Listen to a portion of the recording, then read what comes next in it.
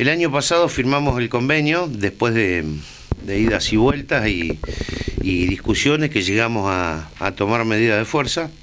Esperemos que este año no, pero hemos tenido una audiencia, eh, hemos citado a la empresa a una audiencia en, la Secretaría de Trabajo el día viernes, en el cual este, no quiere dar cumplimiento. Eh, a la totalidad del acuerdo firmado el año pasado para este año. Se firmó lo del año pasado, para que quede claro, más la temporada del año 2016. Eh, la empresa este, no quiere dar cumplimiento, nosotros le estamos exigiendo la aplicación de ese acuerdo que está firmado por las partes y presentado en la delegación de trabajo. De todos modos, pasamos para el día martes a las 11 de la mañana en delegación nuevamente a ver si la empresa... Este, que dé cumplimiento a este acuerdo firmado, ¿no? Este, y que no borre con el codo lo que firmó con la mano.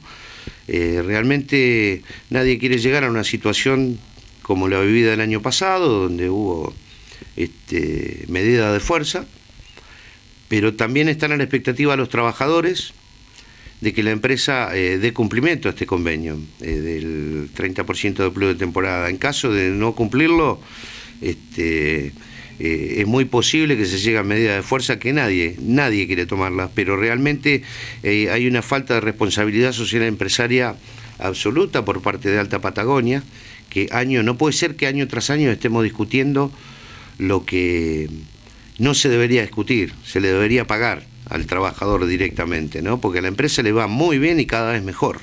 ¿Qué se alega desde la empresa para no pagar este, este plus que ya había sido acordado? Están discutiendo un 10%, 10, un 12%, que es totalmente mm, este, falso porque realmente eh, firmaron algo este, que yo pensé que estaba todo bien, realmente, y hoy vemos que no es así. Esperemos, eh, de todos modos, eh, vamos a esperar hasta el día de mañana a ver qué plantea la empresa. Nosotros mañana vamos con una este, decisión de que en caso de que no, no cumpla, este, no descartamos medidas de fuerza nuevamente en el Cerro Catedral. Lamentable, pero eh, si fuera así, hacemos eh, responsable absoluto a Alta Patagonia, ¿no? Porque no, puede ser que todos los años estemos discutiendo algo que realmente le tiene que pagar a la gente. Y esto eh, la falta de responsabilidad con respecto a los trabajadores de parte de CAPSA afecta a todo el conjunto de la,